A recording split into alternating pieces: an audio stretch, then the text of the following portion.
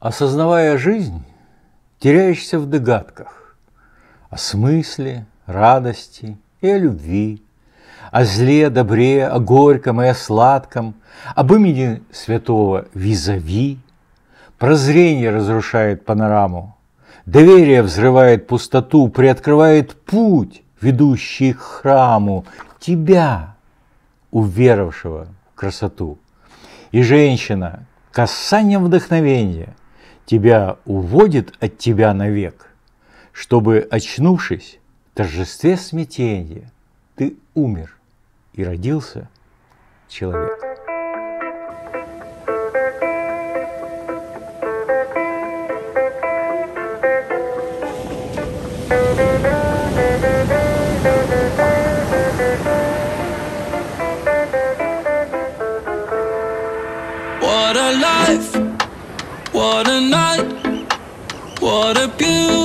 Beautiful, beautiful ride.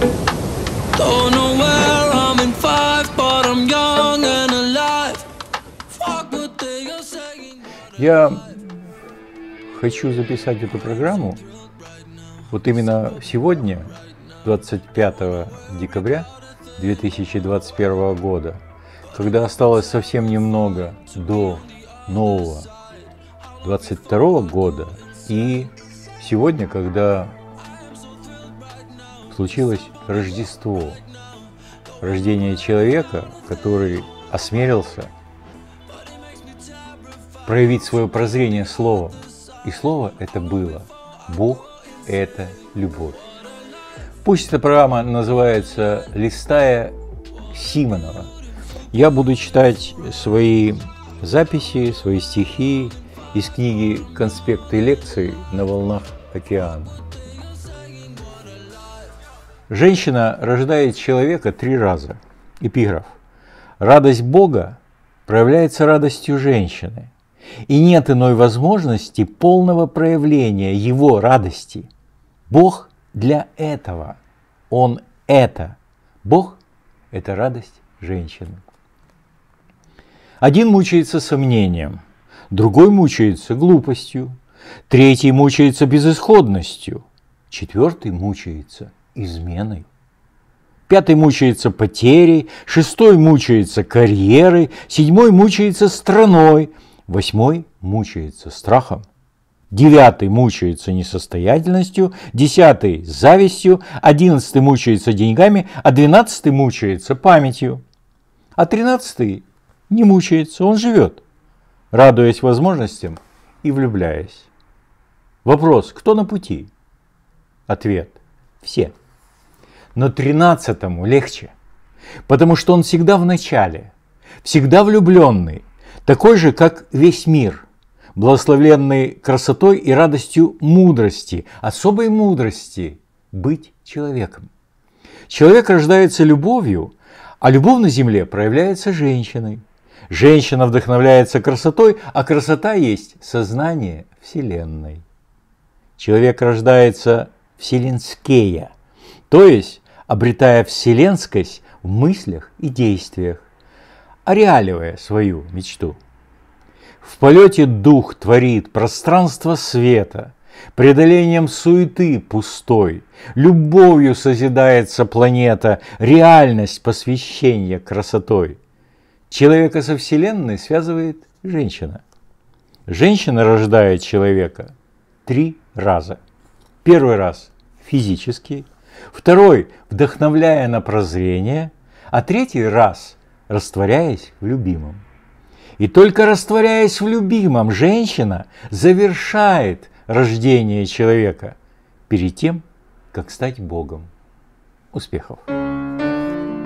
Фейверк сердца. Эпиграф – Обожествляя женщину, прорастаешь Вселенной, до Бога лишь ступень прозрения.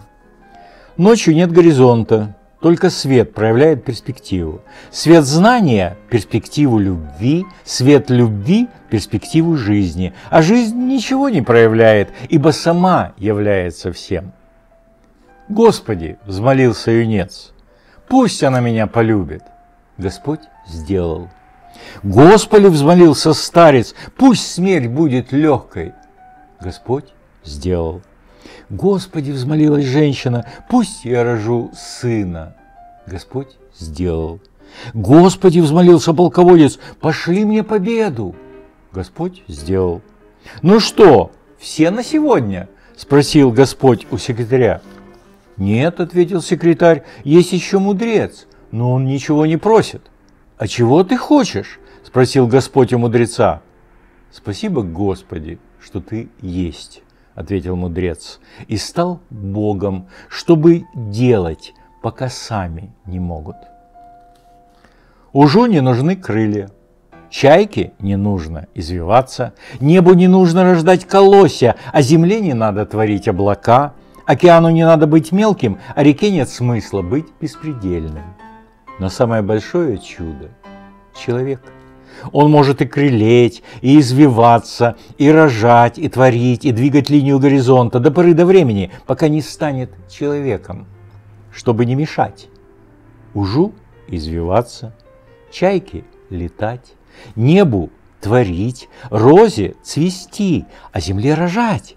Солнцу проявляться светом, а океану быть беспредельным, а реке течь и течь до времени, когда человеку рождаться Богом, чтобы не мешать себе быть человеком.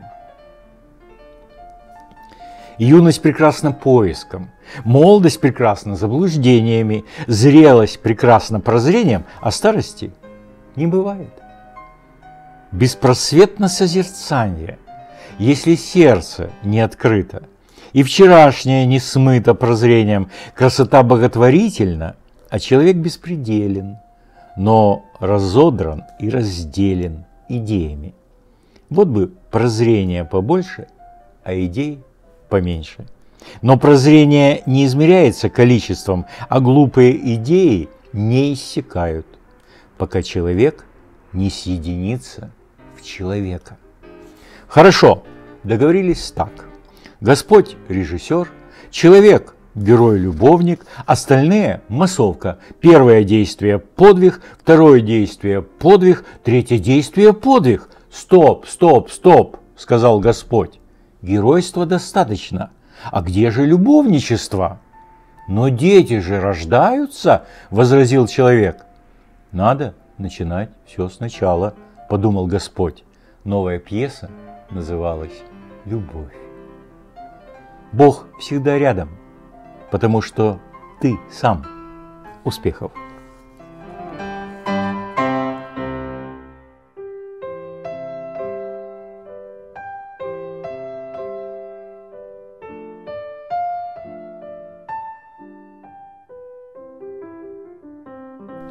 Упав в объятия друг друга, они погибли. Не смогли, не захотели эти объятия разорвать. Сладость поцелуя стала доминантой их смерти, за которой тотчас последовало рождение радуги, цветов, жужжание и чириканье. Благословенна будет любовь, трансформирующая и вдохновляющая на жизнь, так же, как и смерть, ради прозрения рождения. Из ненаписанной книги – неизданной главы.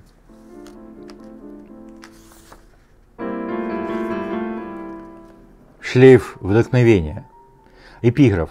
Шлейф вдохновения – это место единения мечты и реальности. Это там, где любят, это там, где живут, там, где всегда сейчас. Из атласа путей и дорог прозрения. Я что-то помнил вчера и сегодня. Все, что забыл прямо сейчас – всего лишь месяц дней новогодних, всего лишь боль от вчерашних нас. От завтрашних сумрак, восходы, закаты, музыка воли и скрип колесниц. Правы же все, даже кто виноваты, сиянием глаз уходящих лиц. Но ветер волнует новое странствие, трюмы загружены, компас открыт, выверен курс на страны напрасья шлейф вдохновения пусть соединит тех, кто остался, и тех, кто задумался, с теми, кто вышел в наш океан, всех тех, кто зачат, кто сумеет проклюнется, с тем, кто не смог, кто срывает стоп-кран. Я что-то помнил вчера и сегодня, все, что забыл, прямо сейчас. Всего лишь месяц дней новогодних, всего лишь боль от вчерашних нас. Мир состоит из людей и человеков.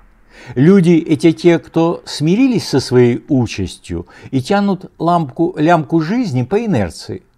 Кто мучается и страдает, кто уже не ищут, кто не пытается, кто забыли о крыльях. А человеки – это те, кто устремляются и мечтают, любят и вдохновляются. Люди и человеки живут на разных планетах Земля. Та Земля, на которой живут люди, убога, несчастна, безнадежна. Та планета Земля, на которой живут человеки, перспективна, радостна, торжественно. Человеки от людей отличаются способностью сотрудничать. Люди не умеют любить. Человеки, устремляясь в перспективу, помогают друг другу в полете. Человеки – это там, где мужчина и женщина, а люди – это там, где граждане и партии. Человеки – это там, где дети и женщины, а люди – это там, где нации и выборы. Человеки – это там, где океан, а люди – это там, где лужи. Человеки – это там, где радуга и небо, а люди – там, где нет ничего. Так же, как океан состоит из прилива и отлива, из звезд на небе, из волн, шума и музыки, так же и человек многогранен в своей беспредельности. И так же, как океан, каждую минуту проявляется новым качеством, новым цветом, новым ароматом. Так же и человек, каждую минуту вступая в новые и новые качественно иные потоки жизни, проявляется по-разному. Поэтому приходят мысли, приходят чувства, рождаются ощущения. А вот дальше разница между океаном и человеком. Океан не оценивает свое качество. Он такой, какой есть, со звездами, со звуками, с ароматом, со своей мощью, со своей совершенно непогрешимой уверенностью, что он таким должен быть, какой он есть. Это океан. А человек, обладая той же беспредельностью, той же многогранностью, той же божественностью, человек умеет сомневаться и отступать. Умеет не быть ураганом, когда надо, и умеет сдерживать себя ежемгновенно и ежесекундно. А как научиться человеку быть океаном? Как помочь самому себе растворяться в беспредельности? Как направить себя на путь служения матери мира? Чтобы ничто не могло помешать человеку быть самим собой, таков, какой он есть, со своими звездами, со своей музыкой, со своими приливами и отливами, со своей мощью, со своей непогрешимостью. Как научиться? Когда стоишь на берегу океана и задаешь себе этот вопрос, то ответ растворяется в вопросе. Этому нельзя научиться. Этим можно только быть. Быть океаном, звездами, ароматом, всем тем, чем ты не можешь не быть. У океана нет выбора, быть океаном или еще кем-то. Поэтому он идеален. Океан идеален своей абсолютности. Он носитель абсолюта Бога. Человек перспективнее океана, у него есть выбор. Быть океаном или не быть, поддерживать свет звезды себя или нет, вдохновляться на любовь или засловить. Ничто не может научить человека быть человеком. Это было бы очень нерациональное расходование космической энергии, но человек вполне может вдохновиться самим собой, своей ответственностью, быть собой, и тогда нет отличия между ним и океаном. И тогда он вступает в удивительную полосу гармонии и красоты, когда ничто не является диссонансом в его действиях. Независимо от того, что, как, где и кем он это делает. Человек так же, как океан, излучает энергию космоса, проявляя абсолют. Человек так же, как океан, омывает Землю собой, дополняя ее до удивительно гармоничного сосуществования, дополняя себя до время пространственного измерения, которое называется Земля – которая называется Вселенная, которая называется мироздание. Господи, все это Ты, Господи, и поэтому все это надо, и все эти испытания, и все эти трудности, и все эти шишки на лбу, и все эти спотыкания, и все эти сомнения, все это надо. Это все Ты, Господи. И Тобой, Господи. И когда совсем не многоту, как важно смотреть на звезды, потому что они тоже Ты, Господи. Но они так удивительно манят. Они так удивительно определяют беспредельность тебя. Они так удивительно дают ощущать крылья. И между звездой, которая ты, Господи, и мной, который ты, Господи, разницы нет.